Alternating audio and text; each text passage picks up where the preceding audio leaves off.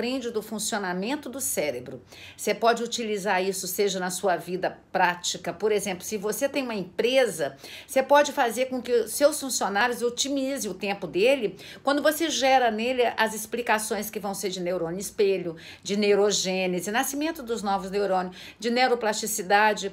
Você sabia que aprender uma nova língua, você está desenvolvendo neuroplasticidade, você está fazendo com que haja novas conexões neurais e a neuroplasticidade, seu, seu cérebro se torna plástico.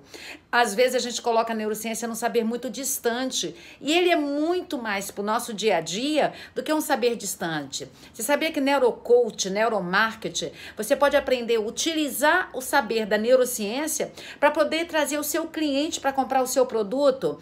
Às vezes você não está sabendo atrair seu cliente porque você não consegue entender de seres humanos no aspecto neurocognitivo, neuroplasticidade.